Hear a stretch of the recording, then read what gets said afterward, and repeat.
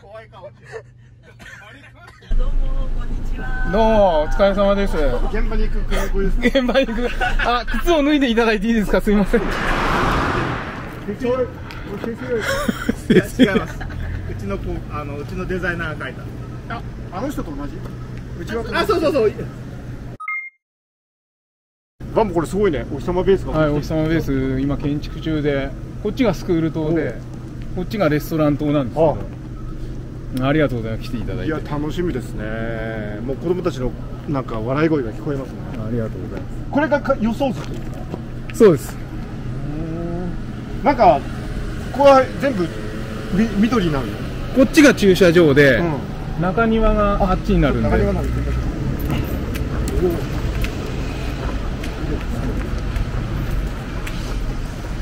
まあ広いな意外と中庭が。ここはもう緑で芝にしようかなと思って。あいいね。で、こうなんかレストランの人たちもこう子供たちが遊んでるの見れるみたいな。とってもいいですね。ここ帰りも意外と遊べますね。そうなんですよね。ちょっ。とミニサッカーとかができそうな。で、こっちも教室が2階建てで、うんあの大きい窓からこう中庭が見渡せるみたいな。素敵素敵。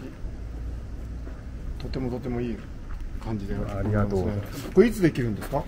これは10月の末に今完成予定でお。11月ぐらいからお子さんがもういらっしゃるということで。はいプレオープン目指して今やっております。俺も来たいな。えー、えー。って走りたいわ。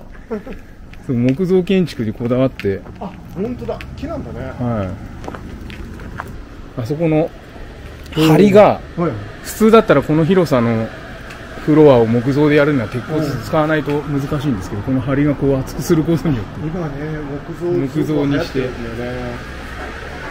木の匂いがして気持ちいい。いいですね。木ってやっぱりすごく人に優しいから。いいですよね。うん。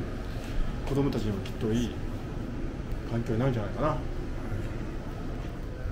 そうこっちはレストランの入り口。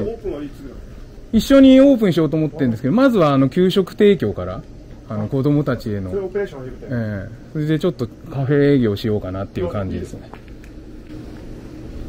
だってそれ以外の時間帯だとねあのランチそうそうそう。そうなんですよ。それ以外の時間帯はある。ぜひ、また、出来上がったら来ていただいて。暑いね行きますか？暑いから。0歳から思春期までの脳と意識の発達をさせる教育子育て AI 時代の、えー未来を見せるというお話をさせていただきます。